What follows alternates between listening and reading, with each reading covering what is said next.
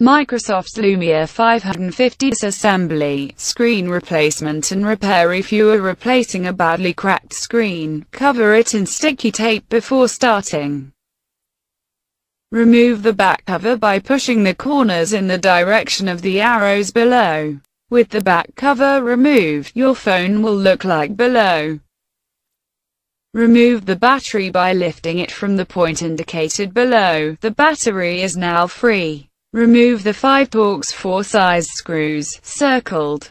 The other 5 screws are a different length. So keep them separate and don't mix them up. Now remove the other 5 Torx 4 size screws, remembering not to mix them up with the first 5 screws. All the screws have now been removed. To separate the battery compartment from the rest of the phone, start by pushing a plastic tool in the join of the housing at the point indicated below. Then run the plastic tool along the join of the battery compartment on the right side and top side of the phone. You will then be able to lift the battery compartment over, from right to left. With the battery compartment open, you have access to a ribbon cable, connecting the screen circuit board.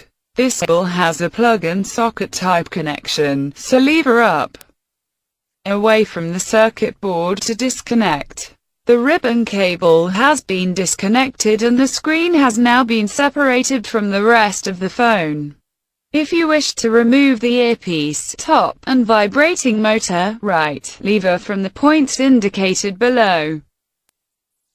The vibrating motor is stuck down with a little adhesive tape so you may need to apply some heat from a hot air gun or hair dryer to soften the adhesive and make the part easier to remove. The earpiece and vibrating motor are now free. To separate the screen and rear frame, apply heat from a hot air gun or hair dryer for around 60 seconds. Move your heat source all the way around the edge of the screen. This will soften the adhesive tape holding the screen in place. Now slide a plastic tool between screen and rear frame. Start near the top of the screen where there is a recess to push the tool into. Move your tool all the way around the edge of the screen until it comes away from the frame. Apply more heat if the screen is well stuck down.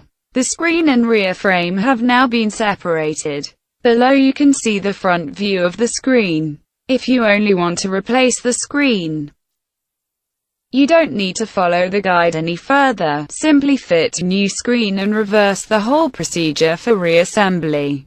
If you've found this disassembly guide useful, please support formimobile.co.uk and order the tools and parts you need from our site. We ship worldwide. If you want to remove the ribbon cable for the front and rear cameras and USB socket, disconnect the cable circled below. This cable has a plug-and socket type connection, so lever up, away from the circuit board to disconnect. To remove the loudspeaker lever from the point indicated by the arrow below, the ribbon cable and loudspeaker are now free.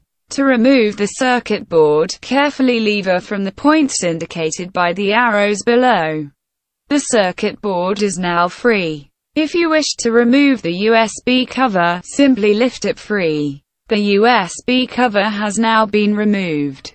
To remove the camera flash, Push at the point indicated below and it will come out on the other side. The camera flash is now free.